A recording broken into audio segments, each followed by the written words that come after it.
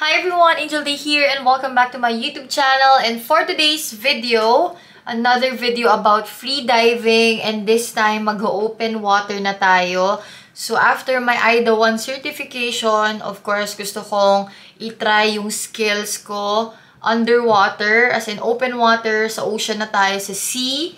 And this time, sasamahan tayo ni Miguel. And he's going to learn to free dive also. So siya, basic free diving. Open water na siya agad. Wala pa siyang experience at all. Hindi pa siya nagsi-city dive. So this is going to be fun. And if you want to know what's gonna happen next, just keep on watching.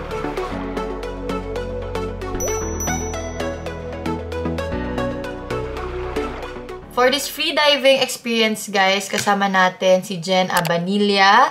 She's one of the best um, free diving instructors here in the Philippines. As in, nagko-compete siya and all that. Super galing niya. So, right now, we are in a Zoom meeting. This is for Miguel. Kasi, di ba, pag basic free diving, meron pang class before um, going to the actual free diving. So, nakiki, ano na rin ako, nakiki-class na rin ako para refresher na rin for Saturday. So, today is Thursday. Tomorrow, magpapahinga kami, matutulog ng maaga, magpapakondisyon for our free diving the whole Saturday. Okay guys, nakatulog na ako kagabi, so hindi ko na kayo update regarding sa kung magkano yung price and everything. Kasi after ng aming class, ayun, inantok na ako. So, merong website, si Jen.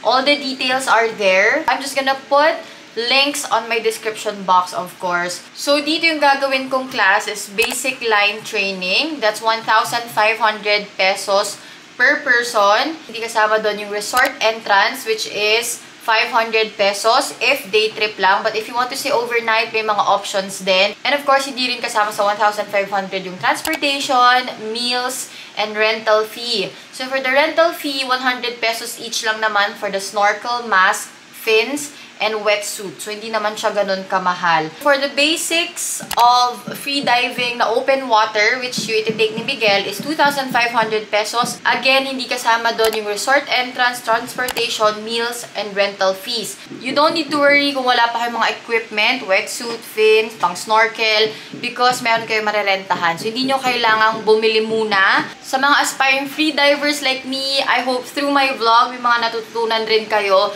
and at least you know what to expect. So, bukas ng aming open water free diving and I'm super excited. Miguel is super excited. So, yun guys, update namin kayo tomorrow. Hi everyone! Good morning! So, papunta na kami sa Bubble Maker Resort. So, according to Waze, makakarating kami doon sakto 8 o'clock. So, tamang-tama lang yung pag-alis namin. So, depende guys kung saan kayo manggagaling. Siyempre kami, dito na kami sa south. So, mas malapit na. And, ayun, hindi kami nag-aircon kagabi. Um, suggestion yon ni Jen. Lalo na may sinusitis si Miguel. Para maiwasan lang um, na magka-sinusitis. Okay guys, andito na tayo sa Mabini. Super lapit na natin, 8 minutes away. May kailangan kayong bayaran na Municipal Environmental Protection Fee na 50 pesos each pagkapasok natin dito sa Mabini, Batangas. Okay guys, after magbayad ng environmental fee, merong checkpoint dito. Yun, naghanap sila ng VaxCert or vaccination card. And then, um, pinakita din yung lisensya. So, wala namang iba pang, hindi na kailangan ng booking or whatever. Wala naman silang hinanap na ganon. So, just prepare 50 pesos, your vaccination card or vac certificate, and your um, driver's license. Okay guys, andito kami Hello, sa Okay basketball court. Magkano parking kuya? Okay, no? Kaya? Ay, hindi Hindi, ano lang? Ah, day trip Day lang. trip lang. 100 lang. 100 lang. 100. Sige, kaya. Yung nakatapat ng bubble maker. So, meron silang parking lot dito. Wala masyadong parking daw sa bubble maker. So, dito pinapapark. 100 pesos for day trip. So, we are ready to go. Let's go. Okay guys, we are here at Bubble Maker, Bibo, Bubble Maker Resort. So yun, nagpapahinga lang kami. Actually kami lang pala ni Miguel yung students today. So, matututukan kami one-on-one. Ako kay Jen, si Miguel kay Miss Lay. Miss Lay talaga, or Lay, kay Lay.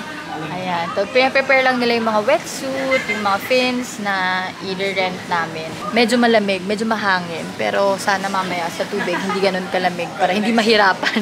Ayan guys, ang ating instructor. Hi Jen! Hello! Nagpe-prepare. Yes! Mga suit. Maganda dami yung gamit ha. Complete. Dapat. Naka-wetsuit na kami guys. Look at that. Power Ranger. Ako. Power Ranger Black. Struggle is real. Ayan na. Game na, game na.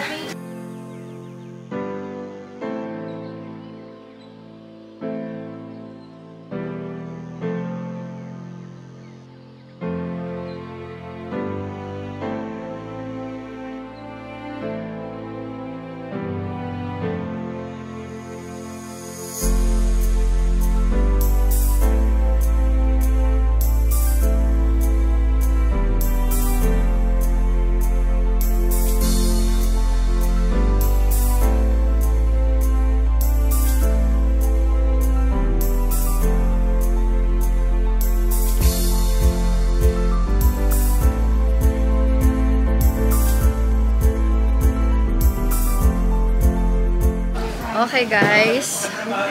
Um, lunch break. Ano oras na ba? 11.30. Miguel enjoyed. Yeah, it's approved. Saya. Naka, Parang ano ka na, okay na daw yung Yeah. duck dive niya. Yay, galing. beginner's luck. Nag-enjoy ako. Hindi ka kinabahan. Hindi ako kinabahan. Yung, yung ano ko, yung sinusitis ko, hindi siya nag-act up. So, hindi Okay, siya... equalization. Oo. And I'll do better mamaya. Next. Meron pa kasi kami round 2. Yes. Hindi ako nakapag-duck dive, puro line lang. Kasi nag-act up yung right ear ko, hindi nag-equalize. Pero naka 9 meters ako, so Wow. not bad. So Mhm. mamaya, sana okay Mga na siya. 20 meters. Grabe naman, 10 lang yung limit. Ayun ba yung limit? Oo. Okay, sige. So yan, we're just going to have lunch. May food na sila dito guys, so you can just order.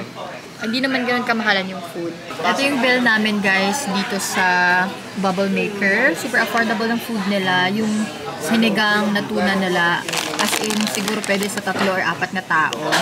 Tapos ayan, mga rice, hot tea, Gatorade, bangwan. Ayan, nagme-merienda kami. Kakatapos lang ng afternoon dive. Pagod. Ang galing ni Miguel guys. Nakita niyo dun sa mga videos. Ako, nagka-problema ako sa equalization kasi nilalamig na ako. So, dito, parang nagbe-build up na ng mucus. Hindi na siya nagpa-pop. So, solved. Hindi ko na-maximize yung dive ko today dahil doon. So, okay lang yun. May mga instances talaga na ganun. We're just waiting for Jen and Lay kasi may final assessment pa kami. Ibig sasabihin sa amin kung ano yung mga kailangan namin improve, ano yung mga good things na nagawa namin. And it's currently 4.53 so I think makakaalis kami dito mga 5.30. Makauwi kami mga 7 na siguro. So, yeah. Ah, um, ito yung mga in-address natin. Wala naman masyado, so these are just the basic. So, your arch back, yung nakaganong ka sa, sa line kasi your your neck is also arched. Hindi relax yung neck mo, nakatingin ka sa, sa, sa floor. Okay guys, we are finally home. Actually kahapon pa yon pero sobrang knockout na kami. Kasi pagod na pagod after the free dive. So, come here, Baba. Hello. We will just give you our conclusions. Ayan, kung ano yung mga thoughts namin and all that. So, ikaw, as a first-timer, So, ako, as a first timer, na-enjoy ko talaga siya sobra. Um, nakuha ko yung duck dive yes. at first. And ano yung mga sabihin mo, kailangan mo improve? Ayun, Wala. marami pa. Marami pa ako kailangan improve. Like, Yung um, fins. may finning, medyo, medyo stiff kasi yung, yung legs, yung hips ko, and yung legs ko. So, kailangan So, ko pang- parang, Mm-mm. so parang nagagamit niya is yung knees niya. Knees so, instead of the hips na ganyan, parang naging ganun. Sobrang dami kasi instruction, so medyo overwhelming sa akin. So, I need, kailangan More ko na- practice. More practice and dahan-dahan lang. Oo. Yung one at a time. Which is, gano'n naman talaga guys. Hindi Mm. naman talaga siya makukuha sa una. Siyempre, Mm. more practice, more practice, more practice. Yep. For me, first time ko sa open water, may experience. Ang lamig pala.